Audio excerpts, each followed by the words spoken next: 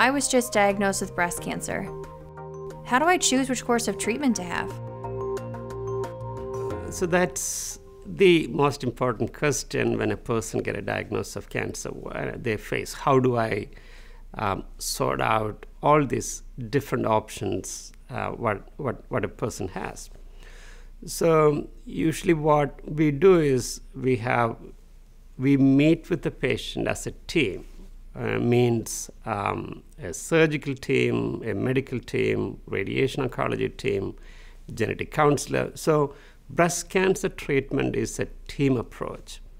And then each person's treatment is going to be extremely tailored or unique for that person's type of cancer, stage of cancer, and preference. If the pa- and, and patient preference and patient actively participate in, in decision making. So let's just say somebody has a stage one, and an early stage cancer surgery may play a major role. Let's just say somebody has a stage two or three cancer. Then uh, chemotherapy and radiation may play a major role.